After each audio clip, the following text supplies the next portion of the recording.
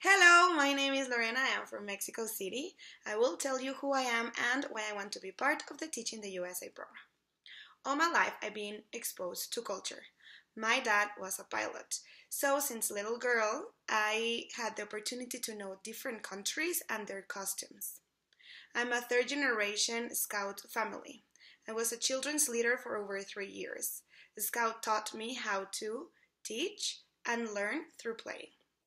It also allowed me to assist to three world camps where I learned to share my culture and be involved in others. This made me passionate about our multicultural world, so when I had the chance to work in an international company, I did. I work in a cruise ship as a youth staff. I was able to join my three passions share my culture and getting to know others, work with children, and travel. However, this was not enough. I knew I could do more, so I decided to work in a school. I wanted to be part of the change.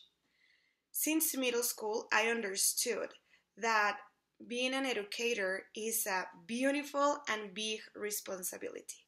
Teachers have the power to shape people's lives. I am an empathic and passionate person. I'm committed to myself to be the best teacher I can be.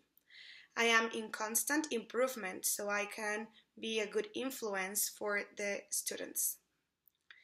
I'm an English teacher, so when I learned about the Teach in the USA program, I was thrilled to know that I could fulfill a dream.